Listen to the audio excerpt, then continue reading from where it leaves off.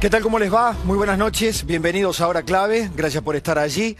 Hoy eh, vamos a ver si podemos anclar en este presente tan movedizo, tan eh, denso de expectativas, esta transición eh, que tiene sus bemoles rumbo al nuevo tiempo de la Argentina, a un nuevo gobierno pero no quedarnos allí, no en la coyuntura, sino también desde el presente proyectarnos al futuro.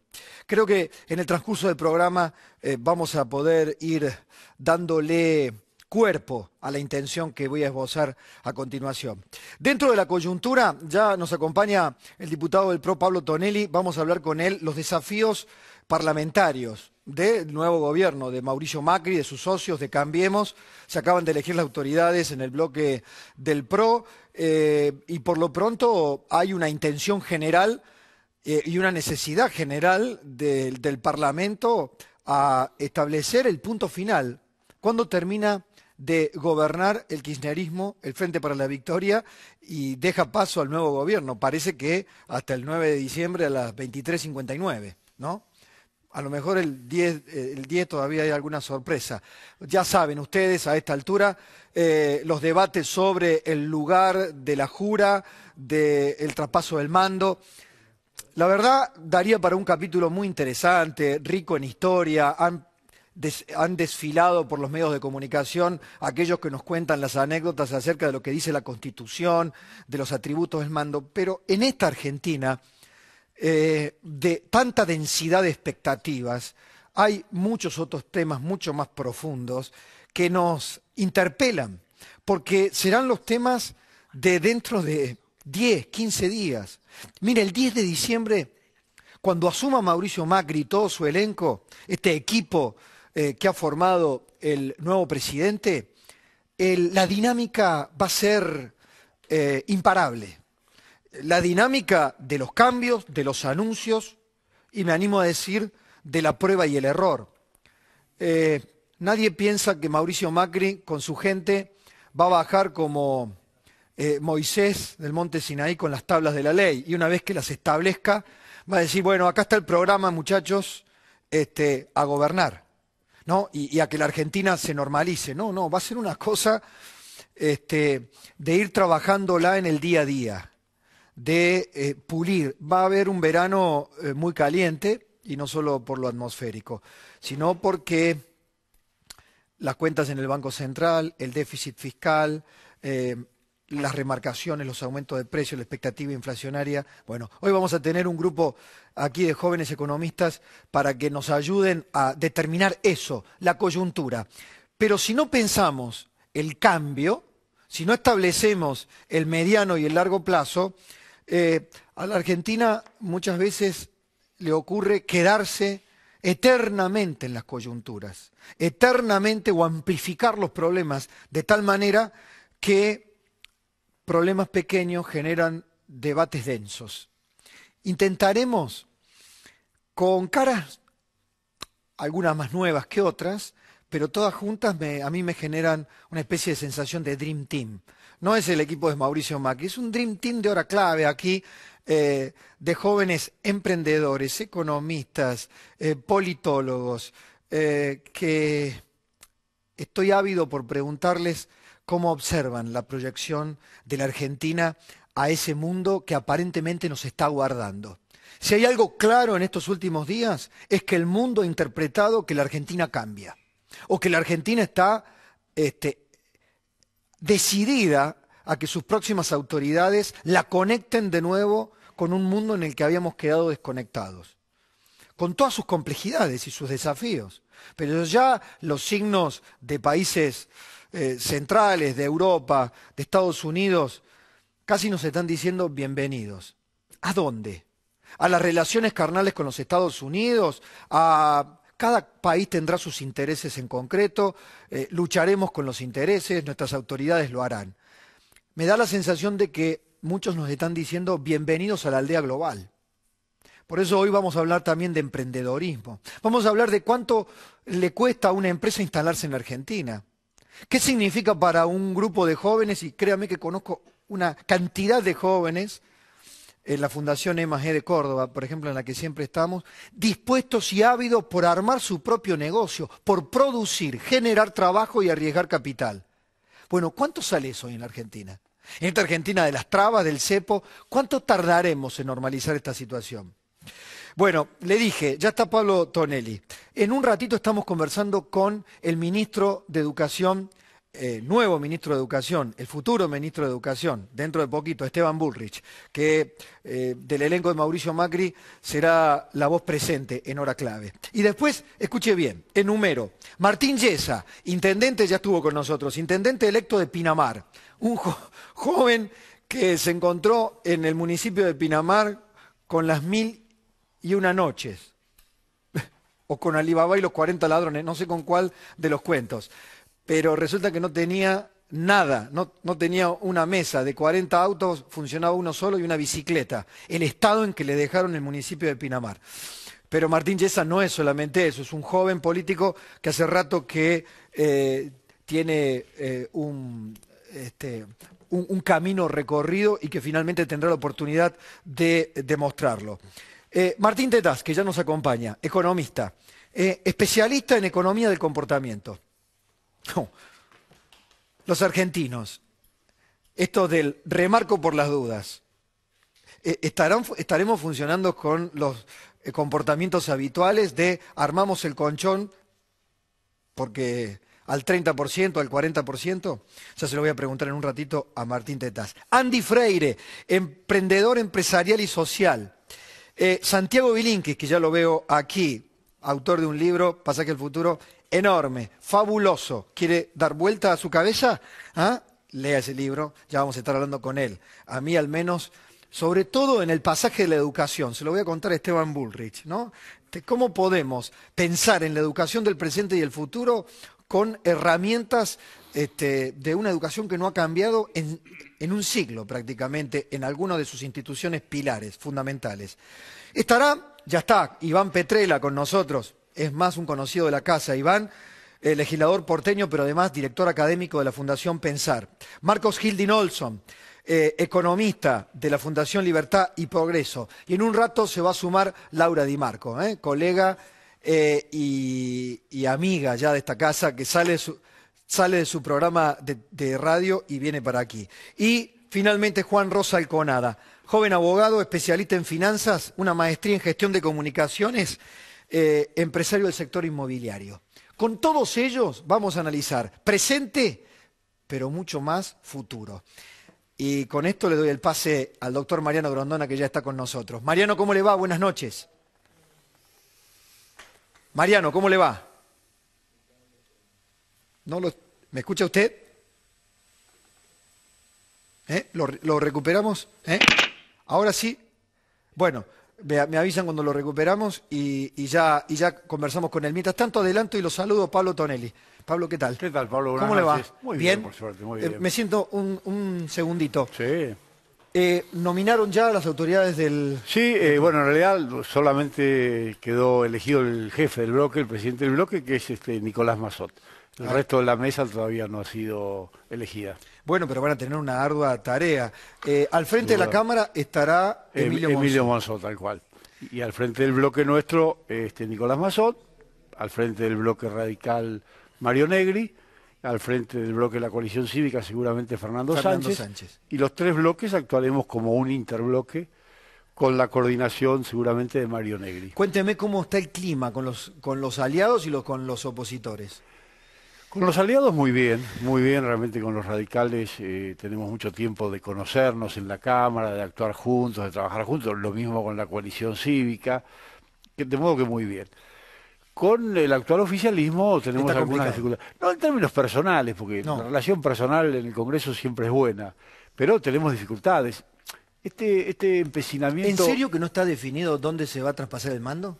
Bueno, la presidenta actual insiste en que sea en el Congreso, no quiere saber nada de hacer esa ceremonia en la Casa Rosada como es tradicional. Como era hasta 2003. Como era siempre, porque la Constitución lo que dice es que el presidente presta juramento ante la Asamblea Legislativa, pero lo tradicional era que el presidente entrante vaya al Congreso, jure de solo ante el presidente del Senado de allí se traslada a la Casa de Gobierno y en la Casa de Gobierno hay una ceremonia que no reviste valor institucional, sino más bien simbólico, en la cual el presidente saliente le entrega al presidente entrante lo que se llaman los atributos del mando, es decir, banda y bastón, e inmediatamente se va.